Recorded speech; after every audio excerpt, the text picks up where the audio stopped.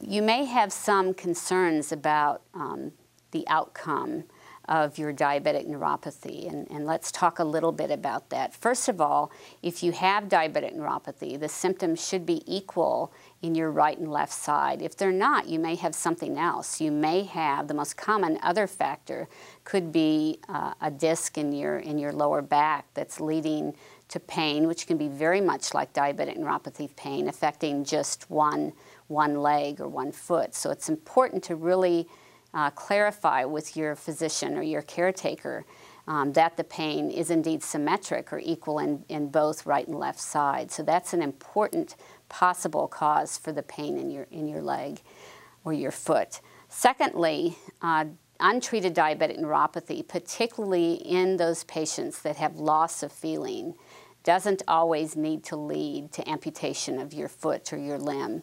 The important thing is that you recognize you have the problem, if you have numbness, to do a careful examination of your feet every single day.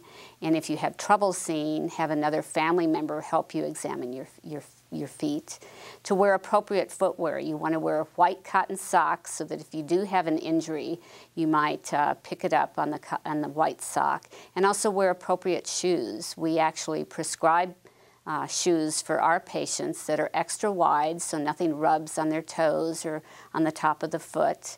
Um, and make sure your, your footwear is, is appropriate. We replace shoes every three to six months so that patients don't have issues with their footwear. So wide shoes with good support, uh, not necessarily ankle level shoes, but um, shoes that have good ankle support. And then cotton socks, which will help um, with absorption of perspiration and will also allow you to detect if you do have an ulcer on your foot.